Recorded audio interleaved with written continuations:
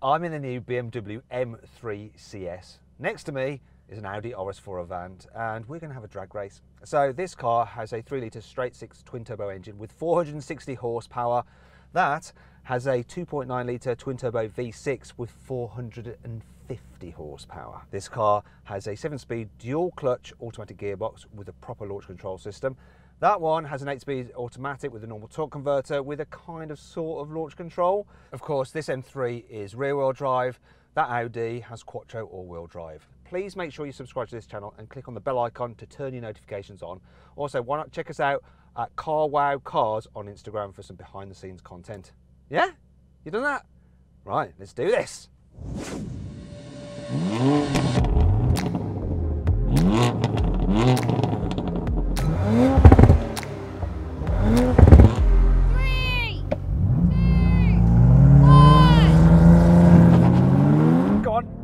Bad.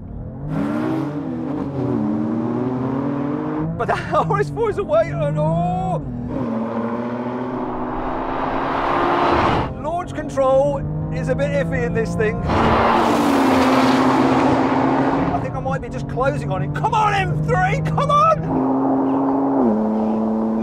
Come on! Come on! Oh! Whoa!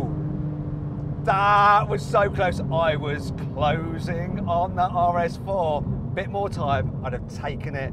There's a slight delay when you release the brake on launch control. So the arms go down, you release the brake and it takes like a split second and then the system engages and the car takes off and obviously it spins its wheels a bit because you have to have traction control off.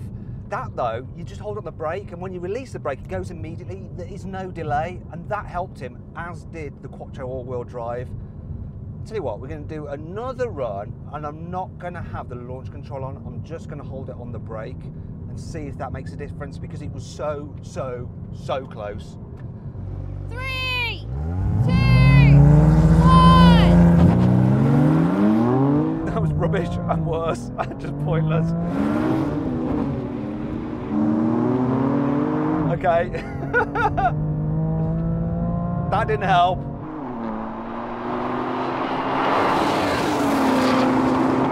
No. End of that. So yeah, you have to use launch control. It does improve the time. It's just uh, the delay, the delay of it.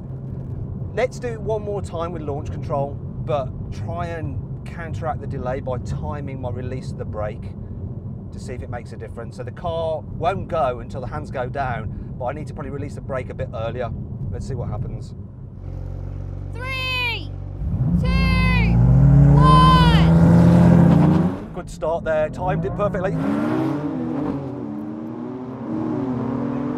Come on, BMW, I reckon we might just be able to have him if there's enough track. Come on, come on. Come on, he's pulling it back, come on. I reckon that might have to be a photo finish. That start was about as good as I'm going to get it. That Audi just every time just takes off dead easy. There's no timing, no timing. Whew, whew, whew. I got rather excited at that.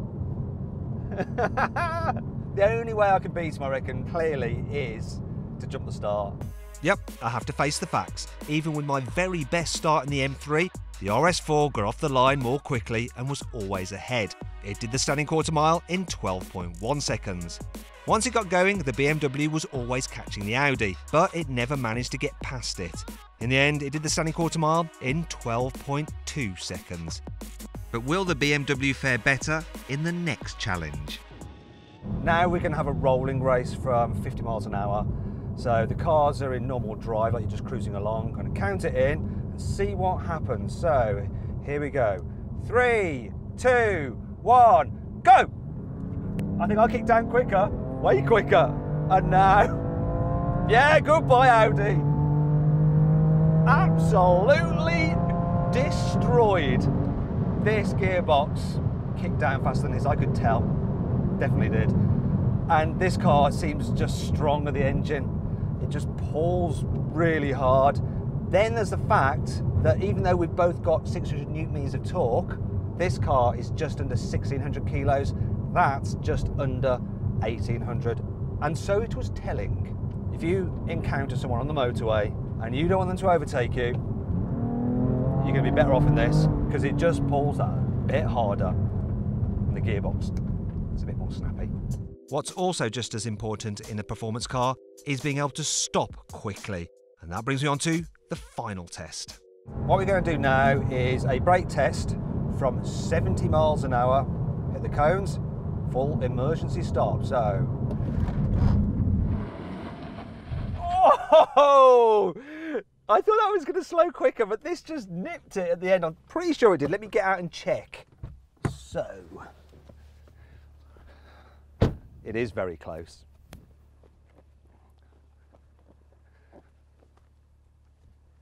But I should say that this BMW beat that Audi by about a metre. I should point out this car does have carbon ceramic brakes, but they're standard on it. So that's all good then. Actually, carbon brakes don't really provide any advantage when you're doing one off brake tests such as this. They just cope better than normal steel brakes when you're doing lots of heavy braking over and over again, like when you're driving on a circuit. And that's exactly what the CS is designed to do.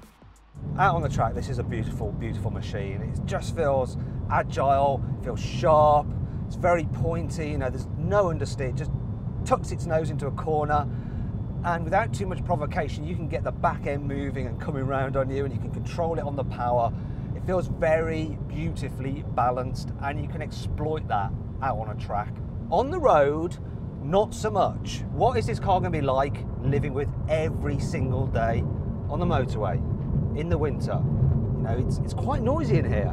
Most of the time, you're putting up with its compromises for those brief moments of glory and thrill. You want to put this thing on the track really to fully appreciate it. Chuck into some corners and you, you forgive it all of its weaknesses because it is a total hooligan of a thing to drive. And then you just love it, you fall in love with it. It's so purposeful, this thing. There is no doubt that at all times it's designed to put a smile on your face. You know, absolute, absolute laugh this thing is. When you're not paying for your own tyres, like I'm not today. If I was, I wouldn't be doing that so often. Once or twice maybe then it would be all about being neat and tidy, which you can be in this car. You can be neat and tidy in it. If you want the finest handling, most brutal accelerating, layeriest out the two cars, make no mistake, it's this, it's this guy, it's this, it's definitely this, 100%. If you don't want that all the time, look elsewhere. And the Audi RS4 is a great place to start your search if you want something fast but not quite so frenetic as the focused M3 CS thing about the Audi RS4 is that when you're just driving it, you can forget that it's supposed to be the performance model because it's just like a normal A4. This car's got the adaptive suspension, and when you have the car in comfort mode, it's really, really good over bumps despite the large wheels. So it's really great for just cruising up and down the motorway. Like I say, you forget, and then you put your foot down, and it just takes off. It never feels as brutal or as on edge as the BMW. It's just civilized, it's easy. On the track, yeah, it's just not. It's not as good as the BMW. Even if I put it into dynamic mode, it's going to make the exhaust a bit louder, sharper throttle response, weightier steering, and it stiffens up the suspension. It's still not as edgy or as sharp or as alive feeling as the BMW, but it's still pretty capable. And really, if you're doing track days, this is not where it's at. It can cope and you go very quickly. It's on the road where this excels. When you don't necessarily know what's coming next, when you need that added grip, that confidence, you are going to be faster than this on the road than you are in the BMW because it's just easier to drive quickly. It's more confidence inspiring. Even if you turn the stability control off, give it a bit of a you can get it sideways, which is a bit silly. can feel it moving around beneath you. You know what the car's doing. The chassis is actually really, really good and letting you know what's about to happen. It can be a bit of a laugh, but it's nowhere near the same as making a BMW M3 with its rear drive setup dance. So, in the end, if you want fun and thrills, the M3 is king. But if you're after an easy to live with daily driver that's supercar quick, the Audi RS4 will suit more people more of the time.